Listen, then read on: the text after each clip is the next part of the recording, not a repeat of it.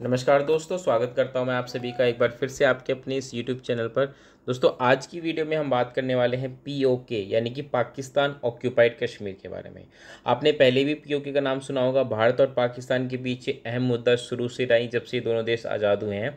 और जो पहला युद्ध हुआ था भारत और पाकिस्तान के बीच उन्नीस सौ अड़तालीस में, वो भी इसी से जुड़ा हुआ था।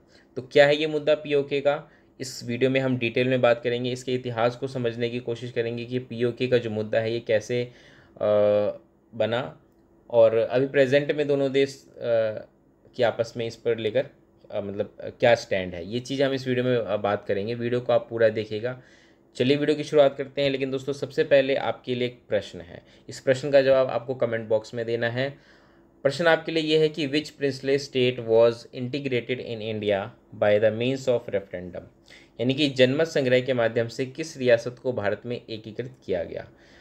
थोड़ा सा मैं आपको इस प्रश्न का बैकग्राउंड बताना चाहूँगा कि आपको पता होगा कि जैसे ही भारत आज़ाद हुआ था, उस वक्त की सिचुएशन ये थी कि उस वक्त की जो रियासतें थी, यानी कि जो रजवाड़े हुआ करते थे प्रिंसले स्टेट्स उनको ऑप्शन दिया गया था कि आप भारत या पाकिस्तान किसी में भी जा सकते हैं।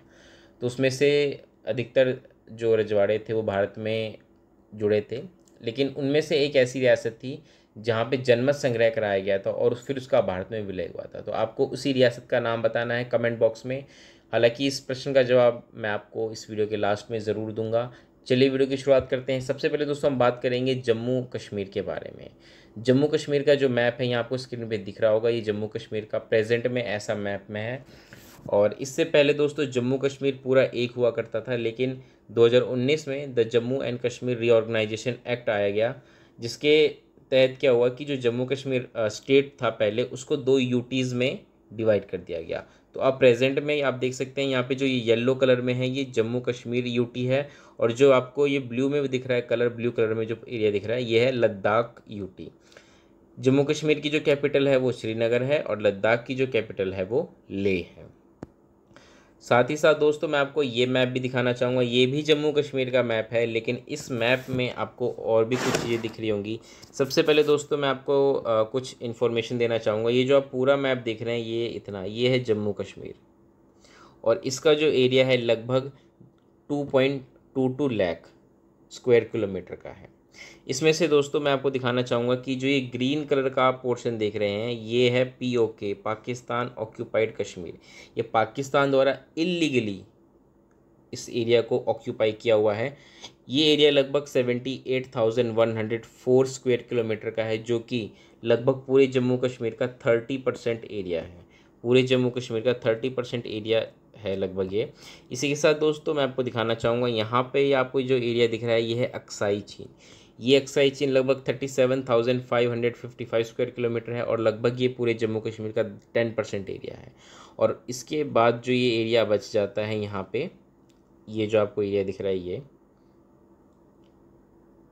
ये जम्मू कश्मीर का वो एरिया है जो कि भारत द्वारा एडमिनिस्ट्रेड है कंट्रोल्ड है। यानी कि लगभग सिक्सटी परसेंट जो जम्मू कश्मीर का एरिया है वो भारत के कंट्रोल में है। बाकी थर्टी परसेंट जो एरिया है वो पाकिस्तान ने इलीगली ऑक्यूपाई कर रखा है और वहीं दस परसेंट एरिया जो है वो चीन ने इलीगली ऑक्यूपाई कर रखा है। इसके अलावा दोस्तों यहाँ पे मैं आपको दिखाना चाहूँगा जो आ, एक मिनट। हाँ आपको जो ये एरिया दिख रहा है ये। ये दोस्तों है सक्शगाम वैली। ये भी five thousand two hundred square kilometre का एरिया है और ये जो एरिया है, ये पाकिस्तान ने ऑक्यूपाई किया था इलीगली लेकिन इसने क्या किया कि उन्नीस में ये चीन को गिफ्ट कर दिया। क्यों गिफ्ट किया? क्योंकि उन्नीस में साइनो पाकिस्तान एग्रीमेंट हुआ था, जिसके तहत चीन और पाकिस्तान के बीच में ये आपसी सहमति बनी थी कि पाकिस्तान क्या करेगा? चाइनीज़ का कंट्रोल मानेगा। इस सक्षगाम वैली पर चाइनीज़ का कंट्रोल होगा। ये पाकिस्तान ने बात स्वीकार करी और चाइना ने क्या स्वीकार किया कि जो ये गिलगिट बाल्टिस्तान का, जो ये गिलगिट का एरिया आपको दिख रहा है, ये पाकिस्तान का है, ये चीन ने इस बात को माना। तो इनकी आपस में सहमति हुई थी। हालाँकि भारत को इस पर ऑब्जेक्शन है क्योंकि ये भारत का जो है अभिन्न अंग है और ये पाकिस्तान ने क्योंकि इलीगली ऑक्यूपाई कर रखा है और बिना भारत की सहमति के ये जो एग्रीमेंट हुआ है तो ये एक तरीके से इलीगल है ये एग्रीमेंट और इसी एग्रीमेंट के तहत उन्नीस में जो पाकिस्तान है उसने ये सक्शगाम वैली जो है ये चाइना को गिफ्ट कर दी थी। तो ये पूरा जो आ, सीन है ये मैं आपको दिखाना चाहता था इस मैप में। चलिए दोस्तों अब हम थोड़ा सा आगे बढ़ते हैं और सबसे पहले हम जानने की कोशिश करेंगे हिस्ट्री ऑफ़ पीओके कि ये पीओके का मुद्दा आया कहाँ से? आखिर कैसे चीन ने भारत का इतना बड़ा हिस्सा इलीगली ऑक्यूपाई कर लिया? सबसे पहले दोस्तों मैं आपको यहाँ पे भारत का मानचित्र दिखाना चाहूँगा। ये ब्रिटिश इंडिया का मैप है, ध्यान रखिएगा। ये अभी जब ब्रिटिशर्स थे इंडिया में और उनका जब शासन था, ये उस दौरान का मैप है। इसमें आपको दो कलर्स दिखाई दे रहे होंगे। कुछ एरिया आपको येलो कलर में दिख रहा है और कुछ एरिया आपको ब्लू कलर में दिख रहा है। ब्लू कलर में जो एरिया दिख रहा है, यहाँ पे प्रिंसले स्टेट हुआ करते थे, रजवाड़े, रियासती हुआ करती थी। राजा का अपना शासन होता था। लेकिन वो ब्रिटिश जो ब्रिटिश थे ब्रिटिशर्स थे उनके नीचे ही खुद को मानते थे। यानी कि ब्रिटिशर्स का कंट्रोल सुप्रीम होता था और रजवाड़े खुद को उनके नीचे मानते थे। कुछ मुद्दे हो गए जैसे कि डिफेंस हो गया आर्मी हो गया इस पर ले इसको लेकर ब्रिटिशर्स डिसीज़न लेते थे है ना? लेकिन जो इंटरनल इनके रिलेशंस होते थे रजवाड़ों के या उनका जो आपसी रूल होता था आ, मतलब जो उनके एरिया में जो रूल होता था वो अपना प्रिंसले स्टेट खुद करते थे। इसी के साथ कुछ एरिया जो आपको यहाँ पे येलो में दिख रहा है, ये डायरेक्ट कंट्रोल करते थे ब्रिटिशर्स उनका पूरा अपना एक सिस्टम होता था एडमिनिस्ट्रेशन होता था और पूरा ब्रिटिशर्स इस एरिया को कंट्रोल करते थे।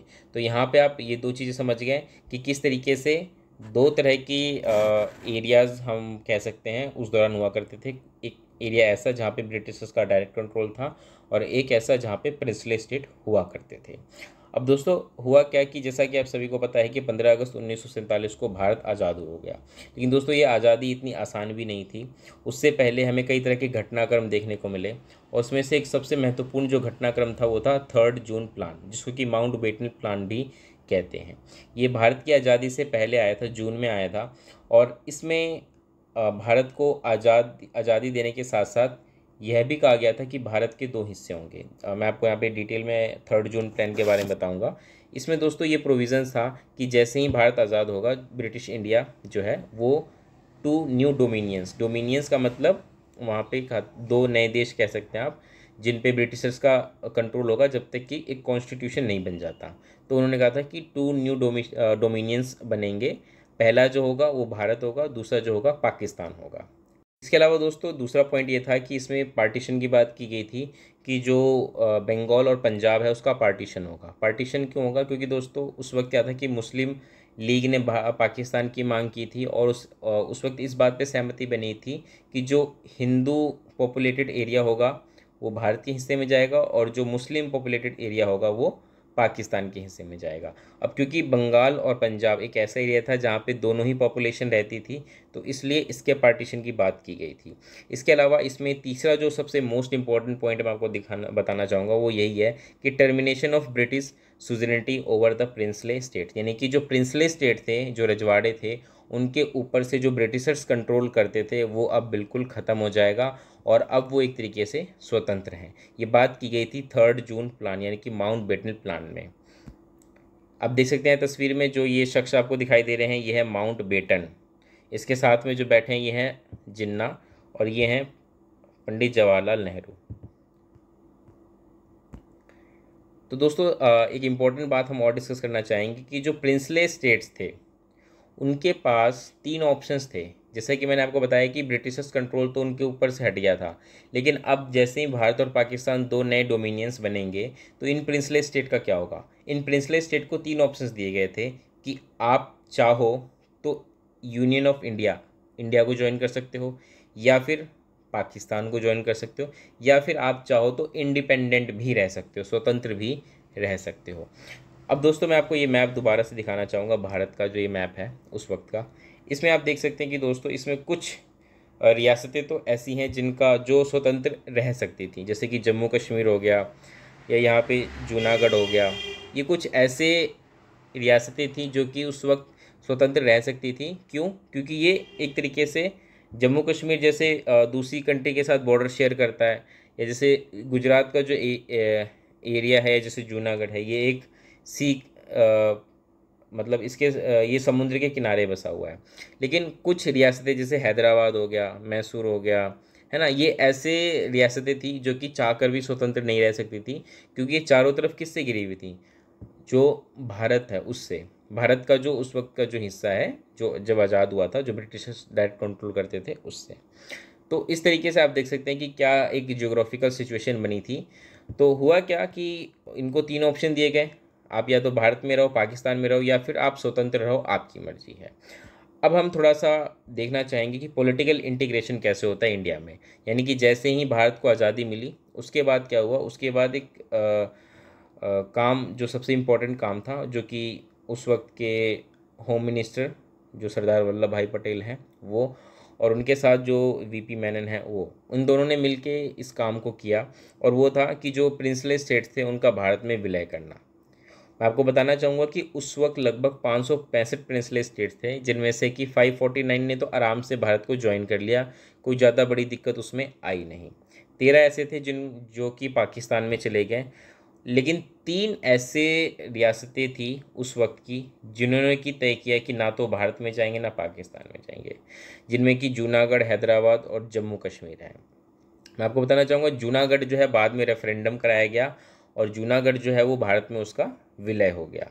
लेकिन हैदराबाद हैदराबाद जो है, इसका भी भारत में विलय किया गया, लेकिन इसके लिए वहाँ पे जो मिलिट्री एक्शंस था वो लेना पड़ा, जिसको कि ऑपरेशन पोलो कहा जाता है। ये हैदराबाद में उस वक्त निज़ाम हुआ करते थे, उनकी अपनी पुलिस थी, उनके अगेंस्ट मिलिट्री एक्शंस लिया गया था कि वहाँ पे कुछ ऐसी सिचुएशन बन गई थी। हालाँकि अभी हम डिटेल में नहीं जाएँगे इसमें कहने का मतलब ये है कि सभी रियासतें सिर्फ़ जम्मू कश्मीर को छोड़ के भारत में जो है वो उनका विलय हो गया था। तो यही दोस्तों मुद्दा यहाँ से शुरू होता है जम्मू और कश्मीर का। यहाँ पे आप देख सकते हैं जो तस्वीर है, ये सरदार वल्लभ भाई पटेल की है और जो दूसरी तस्वीर है, ये वीपी मेनन की है, जो कि उस वक्त ये दो बड़े शख्स थे जिन्होंने कि ये भारत में जो रियासतें थी, इनका विलय करने का काम किया। यहाँ पे आप देख सकते हैं, ये जो तस्वीर है, सबसे पहली तस्वीर, इसमें जो ये हैदराबाद के निज़ाम है और उसके साथ पंडित जवाहरलाल नेहरू हैं, जब इनका विलय हुआ भारत में, और दूसरी तस्वीर ये जूनागढ़ की है, ये वहाँ के जो राजा थे, उनकी है। अब हम बात करते हैं जम्मू कश्मीर को, के बारे में। डिटेल में अब हम जानने की कोशिश करेंगे जम्मू कश्मीर के बारे में, कि आखिर जम्मू कश्मीर का मुद्दा क्या था। तो मैं आपको बताना चाहूँगा कि जम्मू कश्मीर में जो वहाँ के राजा थे, राजा हरी सिंह, ये एक हिंदू राजा थे, और वहाँ पे जो पॉपुलेशन थी, वो मुस्लिम पॉपुलेशन थी। अब राजा हरी सिंह ने डिसाइड किया कि हम किसी भी डोमिनियन में नहीं जाएँगे, ना तो भारत में जाएँगे, ना पाकिस्तान में जाएँगे। ये उन्होंने तय किया।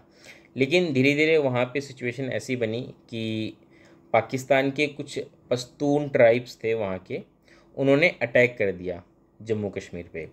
हालाँकि जो पश्तून ट्राइबल्स थे, ये इनको पाकिस्तान की जो मिलिट्री थी, उनका सपोर्ट मिला हुआ था, उनसे हथियार वगैरह इनको मिले थे, ट्रेनिंग वगैरह मिली थी, और उनके सारे पर जो ये पश्तून ट्राइब्स थी, इन्होंने जम्मू कश्मीर पर हमला कर दिया। अब राजा हरी सिंह के पास कोई ऑप्शन बचा नहीं कि वो उससे कैसे निपटें, क्योंकि ये जो पश्तून ट्राइब्स थी, ये धीरे धीरे इनकी जो राजधानी थी उस वक्त श्रीनगर, उसकी तरफ़ बढ़ती जा रही थी। तो इन्होंने भारत सरकार से मदद मांगी। तो भारत सरकार ने कहा कि, देखिए, हम आपकी मदद नहीं कर सकते। ऐसा इसलिए कि हम आपकी मदद किस आधार पर करें? आप भारत का तो हिस्सा है नहीं, है ना? तो हम आपका, हम आपकी मदद कैसे कर सकते हैं? तो अगर आपको भारत की मदद चाहिए तो आपको जो इंस्ट्रूमेंट ऑफ़ असेशन है, उस पर साइन करना पड़ेगा।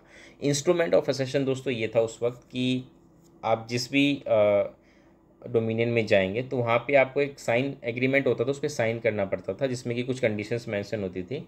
उसके आधार, वो हर हर रियासतों के लिए अलग अलग थी। तो एक इंस्ट्रूमेंट ऑफ़ असेशन होता था, उसको साइन करना पड़ता था, और उसके साइन करती लीगली वो जो स्टेट था वो भारत में शामिल हो जाता था। तो जैसे ही गवर्नमेंट ने ये ऑफ़र रखा, राजा हरी सिंह ने उसको एक्सेप्ट किया और उन्होंने 26 अक्टूबर उन्नीस सौ सैंतालीस को इंस्ट्रूमेंट ऑफ़ असेसन पर साइन कर लिया। अब उनके साइन करते ही जो जम्मू कश्मीर है वो भारत का एक हिस्सा बन गया। लेकिन दोस्तों हुआ क्या? अभी हम मैं आपको बताऊँगा। आप यहाँ देख सकते हैं कि कश्मीर सीड्स टू इंडिया यहाँ पे ये उस वक्त का जो न्यूज़पेपर है, द हिंदुस्तान टाइम्स उसमें एक खबर छपी थी और यहाँ आप तस्वीर में देख सकते हैं यहाँ पे नेहरू जी हैं और राजा हरी सिंह भी हैं इस तस्वीर में और उस वक्त उन्होंने ये इंस्ट्रूमेंट ऑफ़ असेसन साइन किए थे। अब हुआ क्या दोस्तों कि जब इंस्ट्रूमेंट ऑफ़ असेसन जैसे ही साइन हो गया तो अब इंडियन आर्मी जो थी वो श्रीनगर पहुँची और वहाँ जाते ही इंडो पाकिस्तान वॉर जो है वो शुरू हो गया, जो पहला वॉर था इन दोनों के बीच, भारत और पाकिस्तान के बीच में। तो श्रीनगर जो थी वो सेना पहुँची हमारी और भारत की सेना जो थी वो काफ़ी अच्छे तरीके से आगे बढ़ रही थी। पाकिस्तानियों को इन्होंने पीछे खदेड़ दिया था और लगभग लगभग कह सकते हैं कि जो ये युद्ध है, ये भारत जीत ही चुका था। लेकिन हुआ क्या दोस्तों? इसमें यूनाइटेड नेशंस का इन्वॉल्वमेंट शुरू हो गया और वो कैसे हुआ? फ़र्स्ट जनवरी 1948 को जो प्राइम मिनिस्टर हैं जवाहरलाल नेहरू, उन्होंने ये मुद्दा यूनाइटेड नेशन में उठाया। अब उनके इस कदम की कई लोग आलोचना करते हैं कि नेहरू जी को ये कदम नहीं उठाना चाहिए था और उनके इस कदम की वजह से क्या हुआ कि मुद्दा यूनाइटेड नेशन में गया। और यूनाइटेड नेशन में क्या हुआ कि एक अप्रैल 1948 में उन्होंने रेजोल्यूशन 47 पास किया। रेजोल्यूशन 47 भारत और पाकिस्तान के बीच एक तरीके से आप कह सकते हैं, एक एग्रीमेंट था सीज़ फायर एग्रीमेंट था। इस रेजोल्यूशन 47 में क्या था कि सबसे पहले तो ये बात की गई थी कि complete withdrawal of Pakistani troops from the ground और इसके साथ साथ ये था कि maintain minimum minimal Indians troops in the state यानी कि दोनों ही देशों को कहा गया कि आप अपनी आर्मीज जो है उस एरिया से कम करिए और धीरे धीरे पीछे हटिए। साथ ही उन्होंने ये भी कहा था कि एक प्लेबिसाइट होल्ड किया जाएगा जैसे ही ये ट्रूप्स पीछे हटेंगी। तो हुआ क्या कि प्लेबिसाइट तो खैर आज तक हुआ नहीं वहाँ पे। प्लेबिसाइट का मतलब ये होता है कि हम वोटिंग करवाएँ लोगों से कि आप कहाँ जाना चाहते हैं? भारत में रहना चाहते हैं पाकिस्तान में रहना चाहते हैं? तो इस प्लेबिसाइड के लिए ना तो भारत एग्री हुआ शुरू से ही, ना पाकिस्तान एग्री हुआ।